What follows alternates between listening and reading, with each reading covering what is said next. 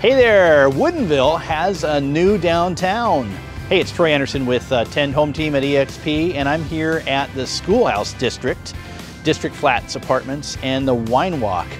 And it is a cool new downtown vibe down here in combination with Woodin Creek, which is walking distance right over there. This is a, what do they call it? A walk anywhere community. And so Ballard Pizza's going in, Ethan Stowell's first East Side establishment, the Walla Walla Steak Company, Cross Buck Brewing, and Lisa Dupar Catering um, is going in right there. Let's go check it out.